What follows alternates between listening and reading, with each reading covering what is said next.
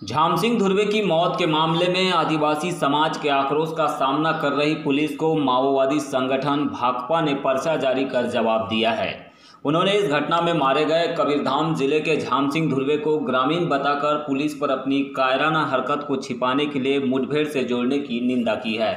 माओवादी संगठन भाकपा ने अपने पर्चे में गिरफ़्तार किए गए नक्सली बादल उर्फ़ ओसा के बारे में कहा है कि झामसिंह की हत्या को नक्सली मुठभेड़ से जोड़ने के लिए पुलिस के द्वारा लालच देकर बादल को आत्मसमर्पण कराया गया। वह पुलिस के बहकावे और लालच में आकर 12 सितंबर को धनियाजोर के जंगल से रातों रात फरार हो गया था, जिसे जनता कभी भी माफ़ नहीं करेगी। पार्टी के साथ गद्दारी कर आत्मसमर्पण करने वाले बादल के कारण पुलिस अब झामसिंह के घटना पर पर्दा डालने की कोशिश कर रही है। पुलिस की इस कायराना हरकत के लिए भाकपा माओवादी संगठन घोर निंदा करती है। माओवादी संगठन भाकपा ने यह जवाब पर्चों के माध्यम से दिया है। यह पर्चे ज़िले के देवगांव, पंडरापानी निकुम जयरासी के आसपास मिलने की जानकारी सामने आई है।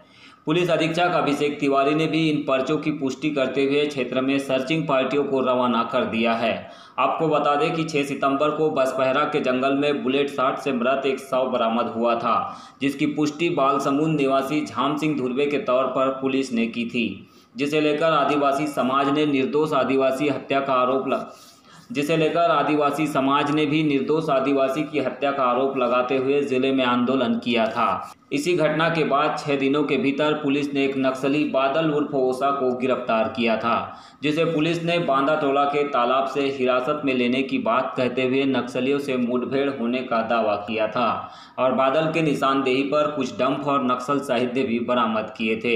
इन्हीं सब घटनाओं पर भाकपा माओवादी संगठन ने नक्सल प्रभावित क्षेत्रों में पर्चे फेंक अपनी प्रतिक्रिया ज़ाहिर की है।